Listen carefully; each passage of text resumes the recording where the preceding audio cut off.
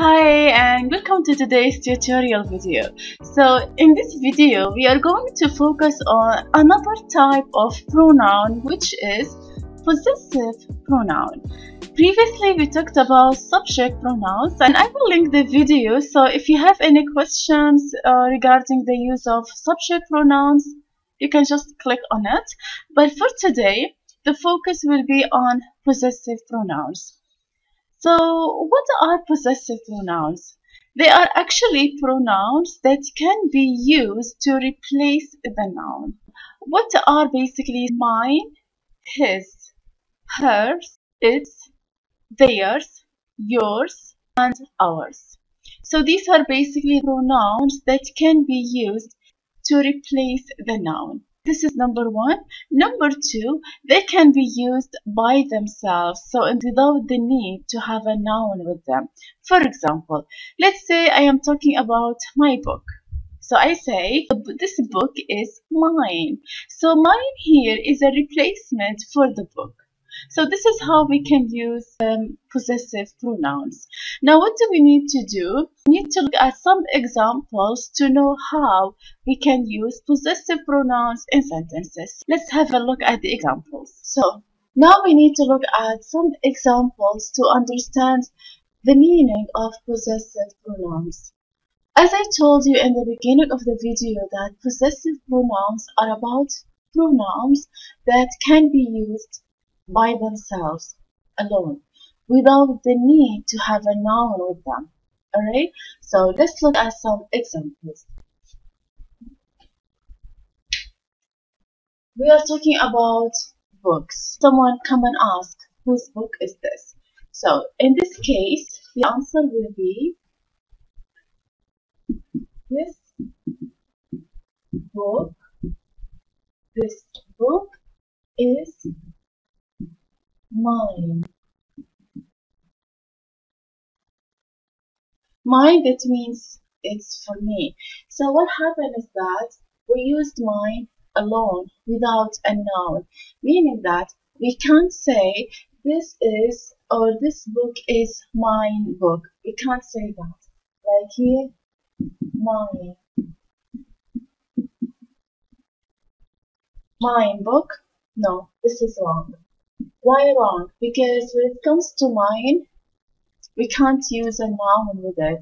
It has to be written by itself. The same thing goes to um, like other things. Like for example, we can say this book is hers, or this book is his, or this book is yours. Right? Or maybe if the question is about plural things, we can say these uh, books are theirs. Or yours. So this is basically for the plural part.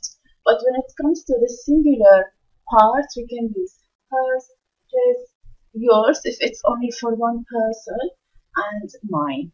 Right? So what's happening? We are using them by themselves without being connected to a noun. So this is possessive pronouns. And uh, when it comes to the question, we can say, whose book is this? So the answer will be this is mine or this is hers and so on. And if you have any questions, regarding uh, the use of possessive pronouns, just let me know in the comment section. Alright, so now it's an activity time. Let's start. Alright, so let's look at the sentences to know what is the right possessive pronoun. Number one, I have a new book. It is. So to know the answer, what do we need to do? We need to look at the subject pronoun. What is the subject pronoun? It is I. And by the way guys, if you have any questions on how to know subject pronouns, I advise you to check this video where I explained everything that is related to subject pronoun. So feel free to check that, right? So let's look at the sentence. because the subject pronoun here is I so it shows that I have a new book so whose book is that? It is my book. The book belongs to me. So in this case we use mine.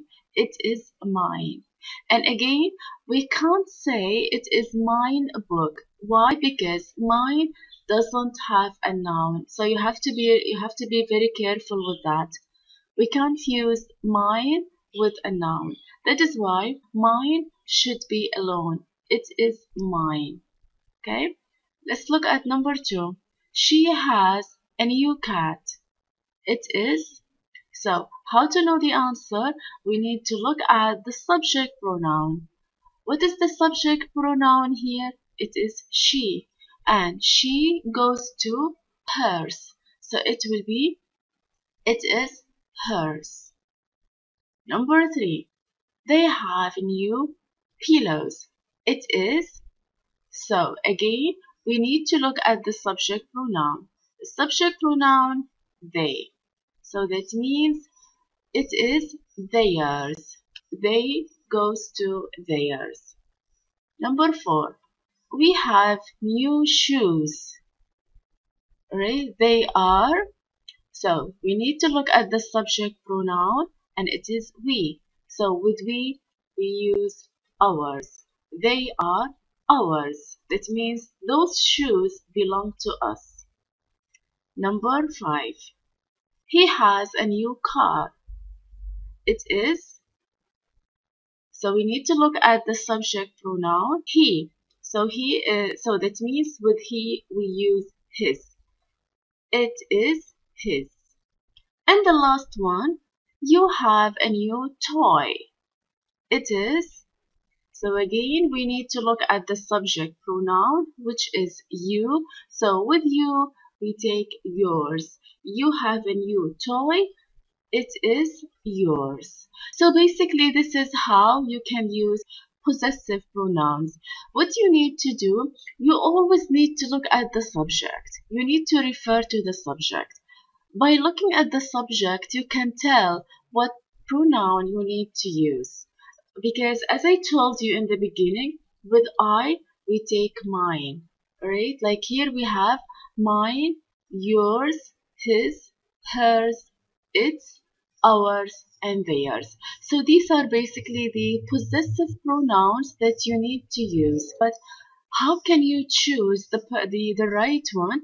By looking at the subject pronoun. And where is the subject pronoun? It's always in the beginning of the sentence. So this is how you can decide which possessive pronoun uh, you should use.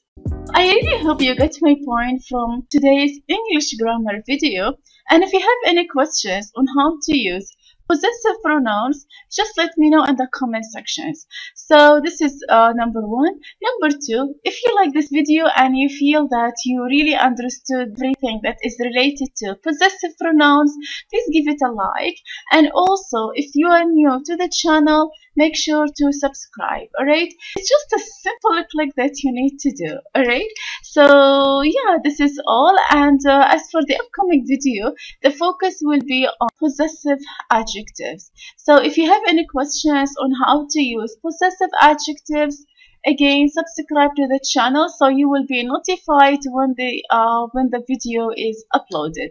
So in this case i wish you a happy day and i will see you on the next video. Bye